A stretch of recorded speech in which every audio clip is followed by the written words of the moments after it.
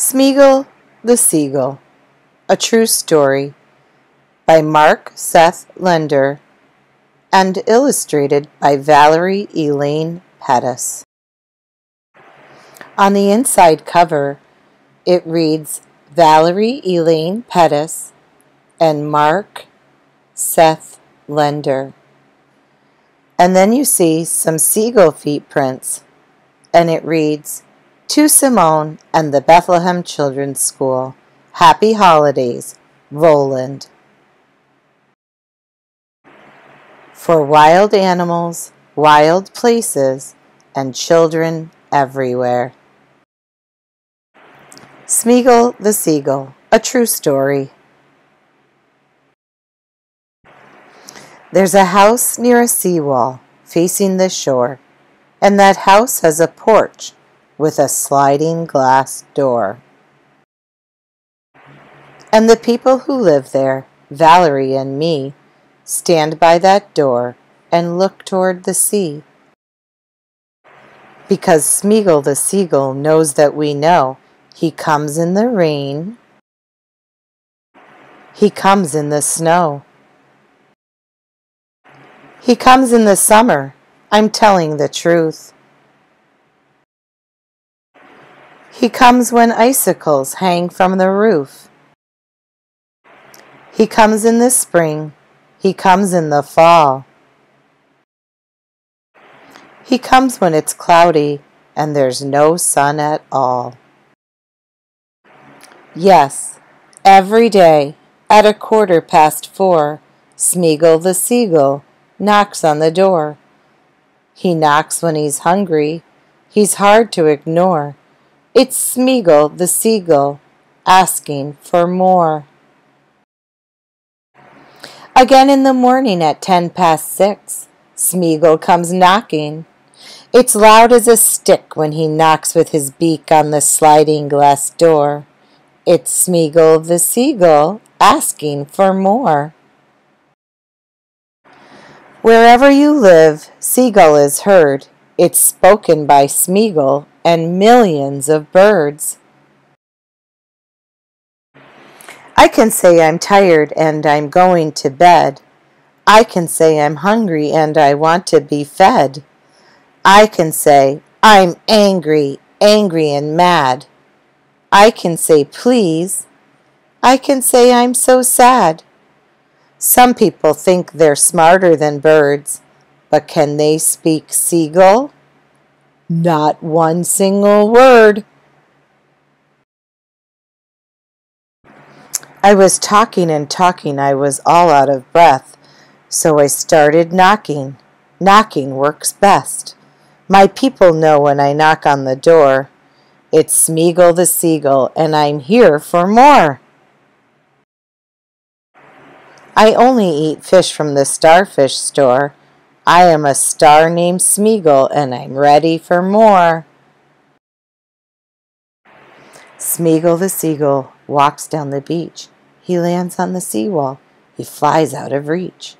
All of the children all over town say, There goes Smeagull. Smeagull's around.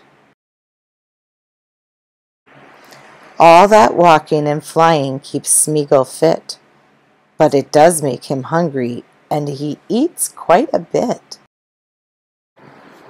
So we bought a new freezer with a really big shelf full of fish for Smeagull. It's all for himself. It stands in the kitchen from ceiling to floor. We thought we'd be ready when Smeagull said more. S M E A G U L L. Shopping list. Sardines, smelts, oysters, mussels, mackerel, local only, treats, fried clams. Then Valerie cried, Where's Smeagull's fish? The shelf is empty. There's no food in his dish. Starfish will be closing in a minute or two. I said, Start the pickup. Down the driveway we flew. Captain Mike had the keys. He was locking the store. He was fresh out of fish, but he said, I'll get more.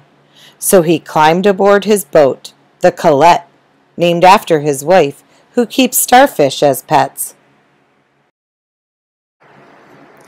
Don't worry, he said. We're not finished yet. I'll head out to sea and see what I can get. The engine roared, and he was soon out of sight. If we have to, we called, we'll wait here all night. Captain Mike returned with a net full of smelts. They're fish, he said. They're good for your health. And he gave us enough to fill Smeagull's shelf. We drove home in the pickup with our fish neatly wrapped. Smeagull didn't greet us. Was he taking a nap? All we could do was shake our heads. We have to find Smeagull, was all that we said. All of the children, all over town, helped look for Smeagull. They looked up, they looked down. They looked in the trees, they looked on the ground. But Smeagull the seagull was not to be found. We were tired and hungry, but we couldn't eat. We turned off the lights, but we couldn't sleep. It was cold and windy, and day after day we waited for Smeagull, but he'd gone away. The sea cannot hear you, the sky cannot speak. Life without Smeagull is lonely and bleak. But what is that sound I hear at the door? That knock? It's familiar.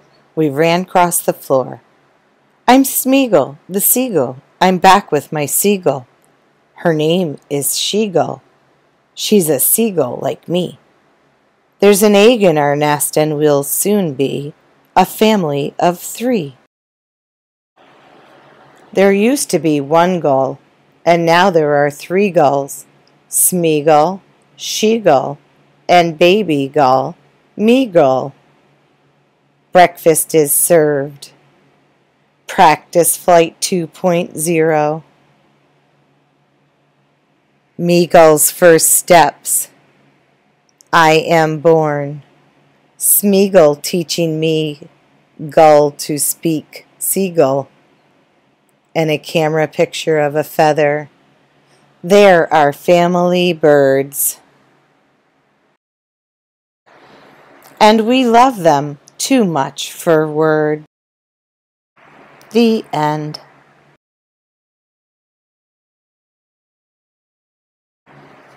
What the critics are saying about Smeagull the Seagull. Hoo, hoo, hoo! Smeagull the Seagull, that's who. This book is a hoot.